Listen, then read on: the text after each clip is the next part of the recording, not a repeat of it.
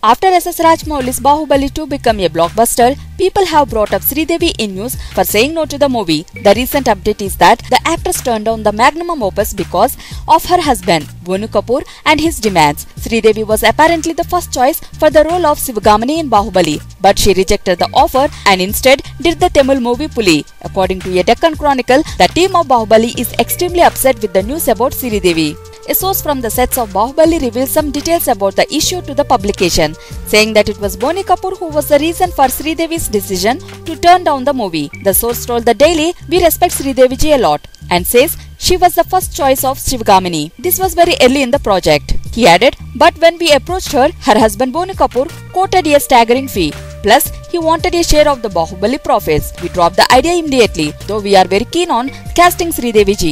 Later, we came to know she did a Tamil movie Puli, where she was given the fee that her husband wanted. However, the most Baahubali fans would be glad to know that Ramya Krishna played Shivgamani, as it's difficult to imagine someone else doing justice to the role. In fact, Ram Gopal Verma didn't lose a chance to make Sridevi feel worse about rejecting the epic role. If Sridevi Kapoor did Baahubali too, she have gotten more credit than Prabhas, it being her very next film after English Vinglish. Now these words may make the veteran actress even more remorseful.